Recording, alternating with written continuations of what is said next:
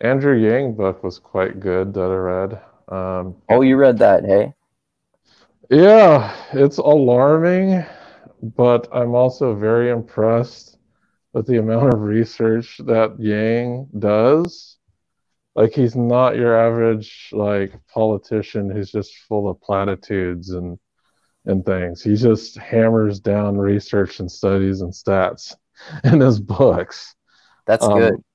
A lot of it is about economic problems and what we could be facing due to automation, of course. Like the vast majority of, of the book is about that.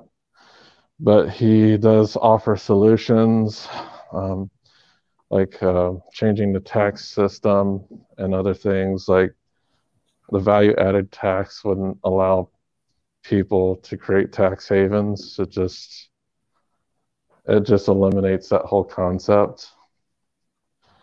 Is you basically just tax all purchases. And so you know, I thought that made a bit more sense because the more you the more shit you buy, the more taxes you're gonna pay, right? Mm-hmm. Yeah, so that's, that's cool. I for I started listening to uh, his podcast on his YouTube channel recently. It, it, seems like he's still he's still trying to get some sort of UBI implemented too. Yeah, so I really loved his book. I gave it five stars.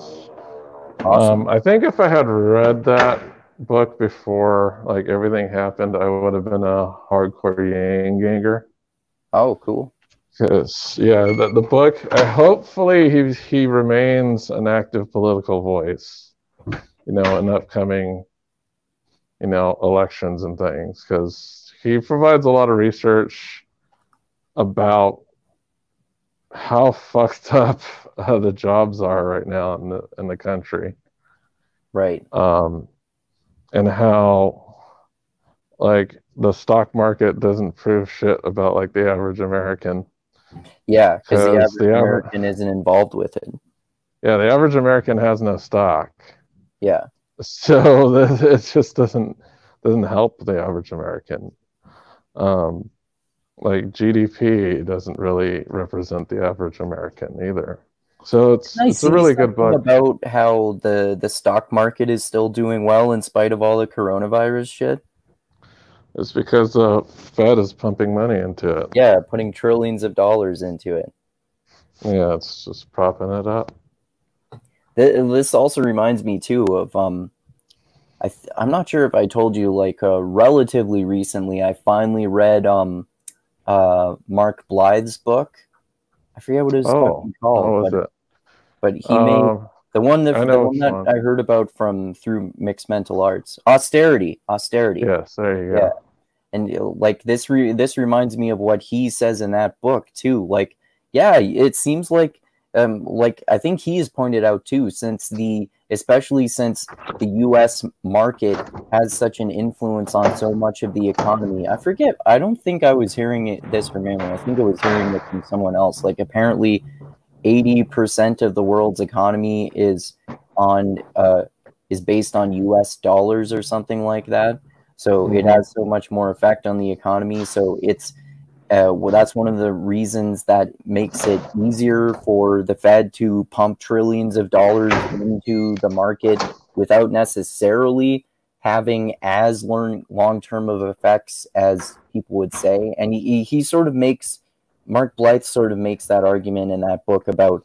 basically like triple trickle up economics instead of trickle down economics because if you have more lower income people who have more money and more jobs and they can spend more money and put more money into the market. Yeah, that's basically Andrew Yang's argument. Like, give the little person money and they're going to spend it, you know? Yeah. Um, they're going to, in general, lead happier lives.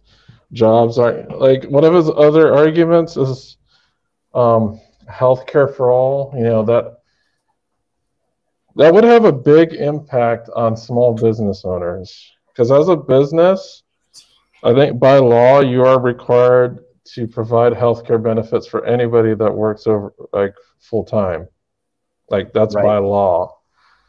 So if you relieve that burden from business owners they would have the ability to hire more people because they don't have to pump in all this money for healthcare coverage. Because, yes, um, people who have healthcare through their employer, they are paying into it, but also the businesses as well. So when you pay healthcare insurance, you're you're not really paying the full cost. Your employer is also paying some of that cost as well. Right. And then obviously with with coronavirus, one of the um, one of the problems with your employer providing your health care is that if you don't if with so many people not having jobs that means that they don't have health care at times when they really fucking need it. Yeah exactly. Um, so yeah it, it, dem- it depends on how angry people get. And you know i think I think the rise in populism is definitely because of these particular types of issues. Yeah, for sure. Yeah, that people so. have to work. It's people have to work more for less. Yep. And what I mean is that, um, like the gig economy, you have no health care there. Um, people's wages aren't really rising to the occasion as far as like the growth of wages is just not there. Yeah. Um, people people are getting frustrated. Yeah, this is one theme that uh, that Krystal Ball and Saagar Enjeti talk about on the Hill. That's a there's a reminder of that because obviously you watched that um, that Joe Rogan podcast with them the other day, right? Yeah, yeah, I watched it. It was quite good. Um, I just like their honesty, and it's cool that they have two people on the show. Yeah, they're both populists, but they're also kind of from different sides. Like Saagar's more conservative, uh, Krystal Ball's more liberal, and we can, we always get like some pretty good dialogues between them about yeah. these things.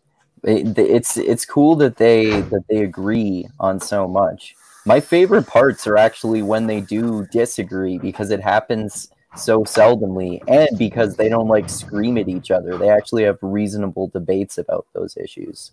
Yeah, yeah, for sure. Yeah.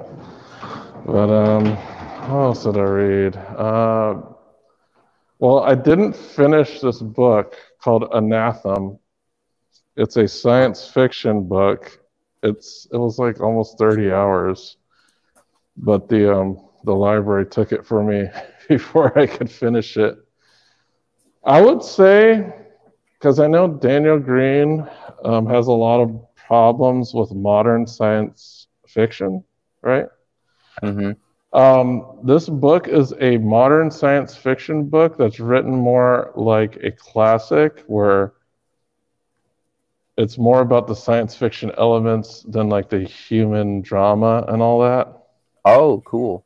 I love classic so I, science fiction like Isaac Asimov and uh, and Ray Bradbury and Robert Heinlein. Yeah, I think you'd like it. Um, it's like, what if a society was invaded by aliens that wasn't an Earth society? So we get the main character, like the society has like a caste system um, all of the intellectuals are basically monks. So they live like monks, very Spartan lifestyles, and all they do is study and and they're like super intelligent. And then you have like what they call the secular world, which is everybody else. So the monks are totally like cloistered away. Some monks um, come out every 10 years to show their discoveries to the world. Some come out every 100 and then there's some that come out every thousand. It's actually unclear how long these people live for. That's what I, I couldn't figure out. Um, but it was really interesting to see like what would a society to do upon threat of alien invasion. But it's a really cool book. It's called Anathem. Um, and I think it's gotten some science fiction awards but I would recommend it if you're looking for science fiction that's very much based in the vein of classic science fiction. There's a whole lot of heavy. There's a lot of heavy science in it. Um, I will add it to my list of books that I want to read. How do you spell Yeah. that? Anathem, so it's A N A T H E M. Okay. Um, I didn't finish it, and it gets like super good. Like it starts to become really actiony at the end. Not super actiony, but there's always a level of like interesting science that's going on in the book, and there's a lot of talk about, you know, like if you if you've read an Asimov book, there's always like a lot of explanations of science in his book. Uh, they do a lot in, as well in this book, so I, I thought it was really fascinating. Cool. Um, and it's long. I think it's probably, if you were to read it, I, I believe it's like 900 something pages. oh, okay. Um, really good. Um, another book I started uh, recently, I'm halfway through, is the first book in the Night Angel trilogy um, by Brent Weeks. He's also the guy that wrote the um, Lightbringer series, which Oh, I that's talked why I to you about. recognize his name. Yeah. Yeah, it's his. he- He wrote this first, so um, I actually really like it because it's this. I love assassin fantasy, and that's what it is. Um, and all of the moral questions that come with, you know, a, someone having to kill people for, for a job, and how do they disassociate themselves from their job and what they do, and then it, it's pretty good so far. Um, I would recommend it. I think he has a really easy um, writing style to get into. Said it's the Uh, Night Angel trilogy? Yeah, by Brent Weeks. Okay.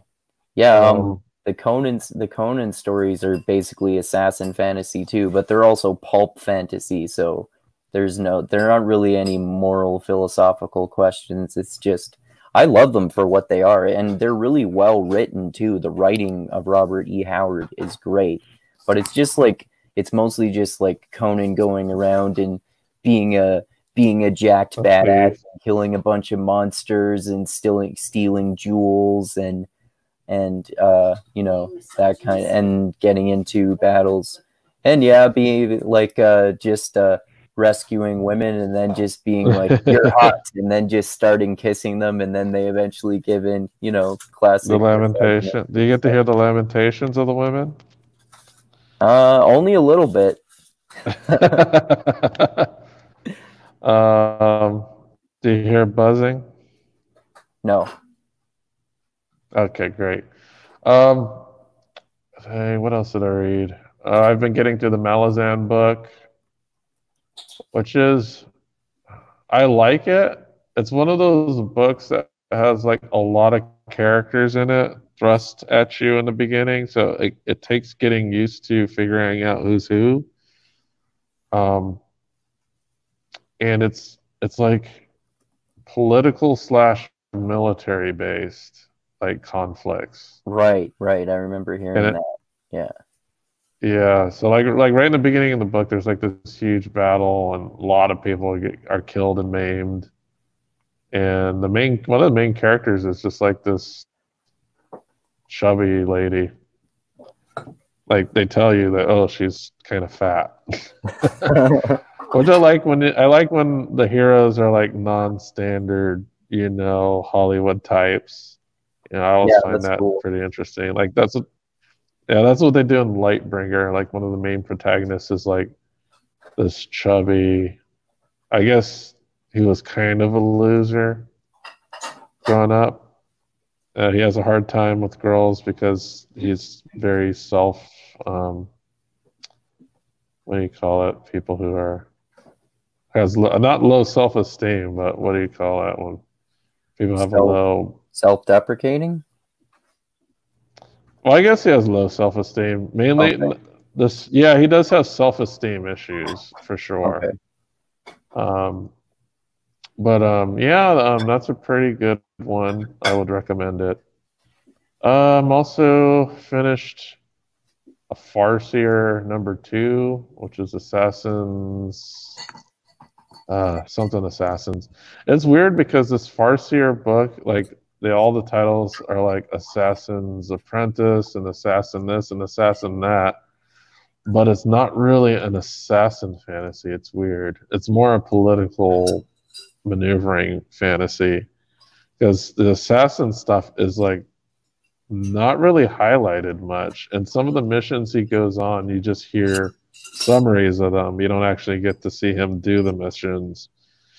And the very, very few missions that he does go on um, don't turn out the way you think they would. Like he ends up like befriending the person instead of killing him and, and stuff like that. So um, it's by Robin Hobb and it's um, oddly enough, it's also first person. So um, it took me a while to get into that, but it's fine now. It was a little bit of a jolt when I first started reading it, because I'm not really used to reading that many first person books.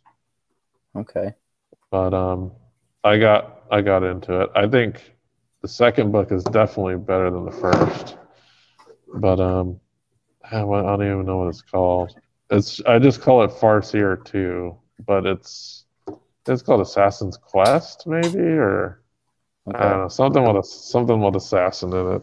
I'm doing injustice to it, but oh well.